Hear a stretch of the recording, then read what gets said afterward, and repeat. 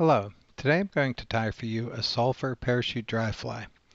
Now this is almost exactly like one I've done in another video, but I came up with a, what I think is an improved way of tying things off at the end. So stick with me if you haven't seen this before. Um, I'd like to put in a picture of what I'm trying to imitate. We're going to do this on a um, fulling mill size 16 50-50 dry fly hook. I'm going to use light speckled Coq de Leon for the tail some mallard barred wood duck flank feather for uh, the body. We're going to use the boot lace, and I talked about that in other videos.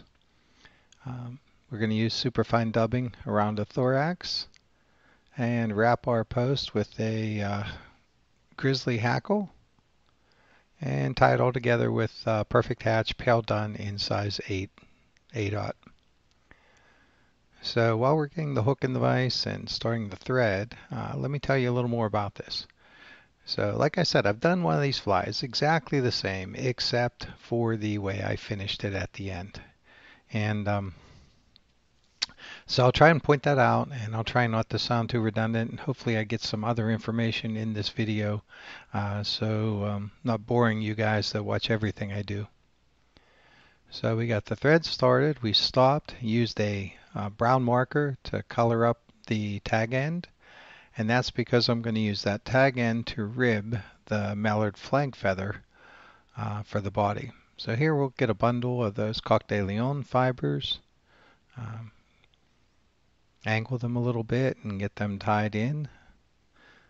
Now I make my tails a little longer than the overall hook length. Um, you, to each his own here. Um, I've seen everybody talks about shank lengths, but when I do that stuff, I end up with what I feel is too small a fly on too big a hook. So I go larger and longer on some of these things. So here we are with a bundle of those uh, mallard flank feathers, the fibers of a feather. Um, they match the sulfurs around here perfectly, and they're really large feathers and this is one of the best ways I found to use these. So we'll get our bundle tied in, wrap it back to where the tail begins, snip off the excess. And this is a good place to put in a uh, whip finish or two just to hold things in place. And I am going to use the rotary feature. Again, this is boring if you've seen my stuff before and you'll probably skip ahead and there goes my watch time. But uh, I really wanted to share this. So we'll get everything fixed. We'll grab that bundle of mallard. Um, as I mentioned in the last video, I'm going to use hackle pliers. Without the camera in the way, I probably would have just held on to the fibers and I would have been able to trade grips and, and do my cross wraps at the end. But um, So we're going to take the, the weaker fibers, or these mallard. I gave them a half twist there just to kind of keep them bundled together. If they spread out a little bit, that's about perfect. I want them to lay parallel on the hook. I want that fuzz to stick out a little bit. And we'll wrap and work our way forward. So we'll get the thread loose and the cradle out of the way. And here's that cross wrap. And like I said, it's easier to trade grips because it'll hang in the hackle pliers. And so I'll get a couple of those cross wraps and snip off the excess.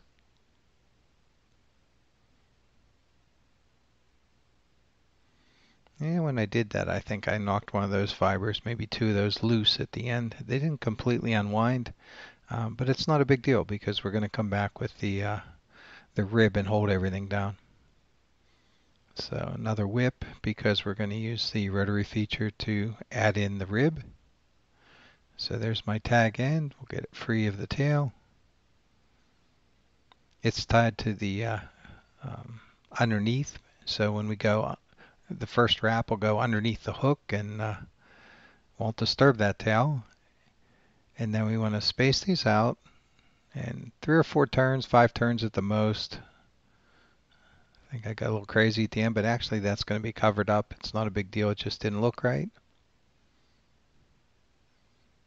And we'll get a cross wrap on our ribbing material and shorten the working thread and get that tied in as well. Work my way back to where I want to put the post.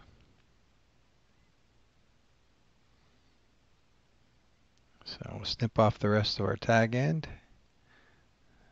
Do a little primping there to make sure everything's pretty. And here's the sulfur colored strand of that bootlace. And like I said in the other video, this stuff, it might be trilobal. It's kind of shiny. It, it's a lot like the poly that we buy. But um, I found it to be the perfect color for some of this uh, sulfur stuff. So there I kind of did a wrap around one direction, a wrap around the other direction. Use the hook to change directions so it pinched that post in place for me. And here I'm going to wrap the post. So I'm just passing the bobbin around the back and under a, over a finger and uh, and working my way up. I guess I'm going for about half of a hook gap here. Probably went a little high, but um, I'd rather be a little high than too low.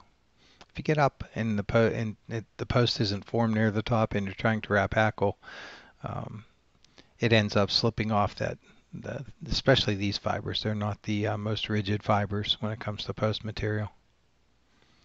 So come in with a little head cement, get things in place. And we'll put in our grizzly hackle. Now, you guys are probably wondering, and I didn't say this in the last video, like why the speckled tail and why the grizzly hackle? And I think in my mind, and from what I've seen and, and read and heard, the um, grizzly hackles, the speckles, that kind of stuff, I think they they add a they appear to they add what appears to be movement. So if you use just plain, you know, maybe a pale or cream colored hackle, cream colored tail, um, it is what it is. I think these speckled ones, um, because they're different color, they reflect light a little different. Um, I think they uh, simulate movement and our imitations that appear to be alive, I think will be um, eaten first. So that's what I'm thinking. So I got the hackle in, I kind of wrapped it up to the uh, top of where I had it posted, and we'll get some of that superfine dubbing. Now, as I mentioned in the other video, this is a long staple dubbing. Um, as I pull it out, I I tend to take the little bundles or pinches and, and cut them off, make them a little shorter. And they wrap a little cleaner around the uh, thread for me. So we'll make about a two or three inch noodle here. And use this stuff to uh, build the thorax.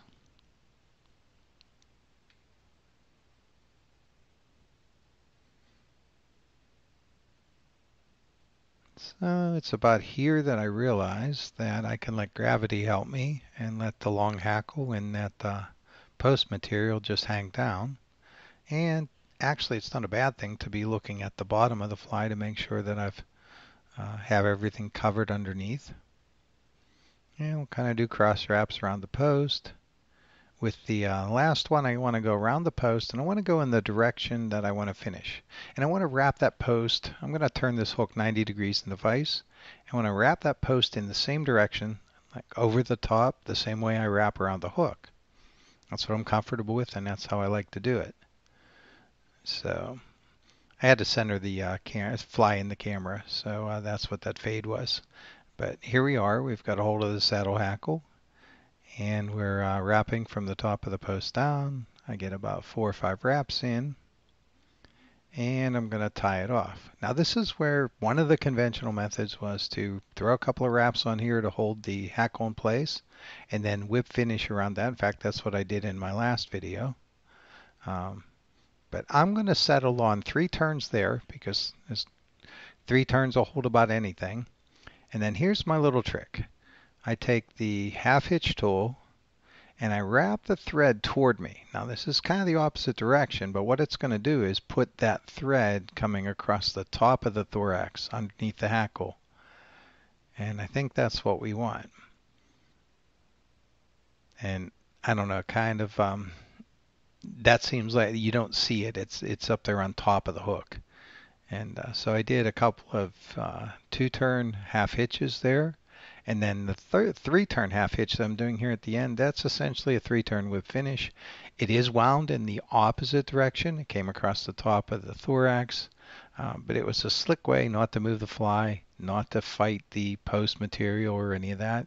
and to slip a um, essentially a whip finish right up under there and finish behind the eye of the hook. So we'll slice that out of the way. And this is another, if I should have thought about it, and my producer's not here. I'm the producer. But um, I should have lowered the, uh, raised the camera so that that was more in the shot. Um, but I trimmed the post. And I'm going to just use one edge of the uh, scissor, the, the snips, and pull the hackle across to trim it. So because I did it this way, and here we are adjusting the camera, but because I did it this way, and I think we all do this anyways, I want to add a, a drop of thin head cement, and I like to do it both above and below the hackle.